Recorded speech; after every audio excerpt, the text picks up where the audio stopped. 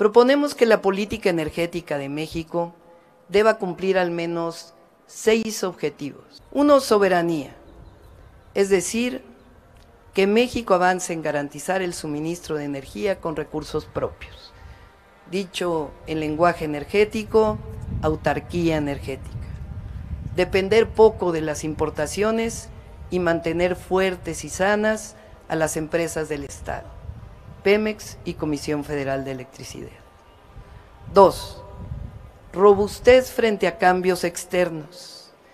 Esto significa la participación clara del sector energético en las finanzas públicas y que la deuda del sector energético sea razonable.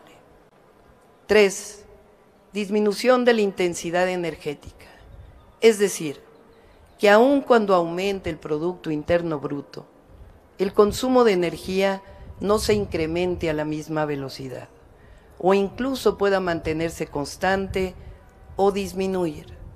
Dicho de otra forma, desacoplar el consumo de energía del crecimiento económico. Esto se puede hacer, es factible hacerlo y ya se ha hecho a través principalmente de la eficiencia energética.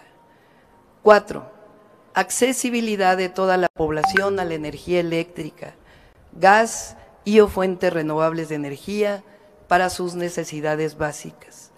Esto significa cobertura y precios accesibles.